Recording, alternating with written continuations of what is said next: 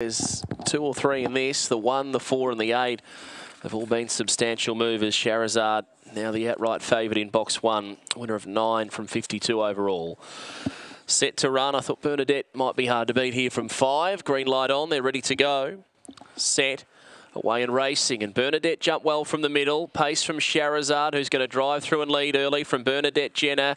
Aston Miguel's going forward. A line of four now coming off the back straight. They're followed by Mr. Spectre, who was in serious trouble. Select Magic runs on with Sunrise to Dusk, and what a surprise around the bend. Shahrazad, the market mover, led Jenner. About a length and a half the margin. It's Shahrazad clear. Shahrazad too good by a length and a half coming on to uh, to win and did it pretty well beating Jenner. Uh, third getting home Select Magic, who did make up a little bit of late ground toward the end of the race.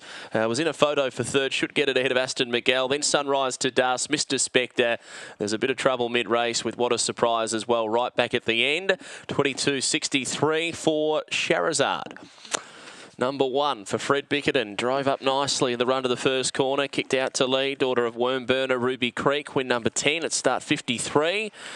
Has got the job done here, number one, beating the seven into second placing, and that was Jenner. She just couldn't quite get across them early. Uh, will run a decent second placing.